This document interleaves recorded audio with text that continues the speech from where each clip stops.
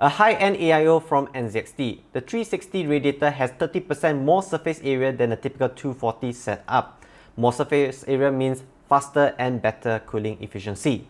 Now it uses three NZXT Aer P static pressure fans that has a RPM of 500 to 2000 and when the RPM max out to 2000 speed the noise is actually low audible sound. Now I don't mind not having any RGB on the fence as it will steal the attention and the show away from the gorgeous mirror RGB effect water block right there. The water block has two areas that is RGB addressable, the NZXT logo as well as the circle rings. You can control this RGB effect via the CAM software. There is two cables connected to the water block.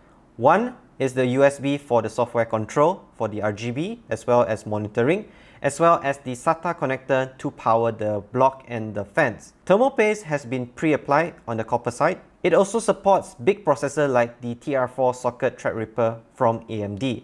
For today, we will focus on the performance based on the i9 9900K overclock based on the 24 hours AIDA stress test. So after 24 hours AIDA stress test, my buddy managed to prove that it's able to overclock at 5 GHz at 1.26 volts.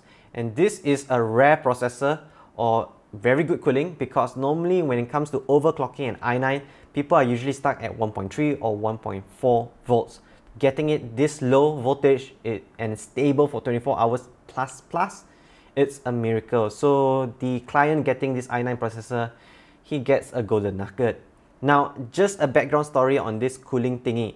There is zero ventilation at the testing room. No aircon, no fans, no even windows open. It's literally a dead hot box because we want to stress this at the ultimate level possible and it survived our test. There are a lot of AIOs we test in the office which are uh, not so good as as NZXT. So thanks for watching this video. If you're interested in NZXT coolers, links in the video description for the updated pricing and other NZXT reviews in the past. Remember to like and subscribe. Comment below what other NZXT products you want me to review. Remember to like and subscribe and help us share this video on social media. That will help us to give us some boost for the channel to grow. See you guys next time.